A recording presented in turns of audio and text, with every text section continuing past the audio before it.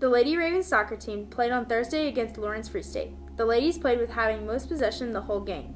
In the 10th minute, the Lady Ravens got a free kick from 40 yards plus. Taylor Weens took the shot and made it into the back of the net for the only goal of the game. Free State had their chances but fell short to the Lady Ravens. Come support them Monday as they face St. James Academy at CBAC. For Game Day Northwest, this has been Ben Blades and Rosie Klausner.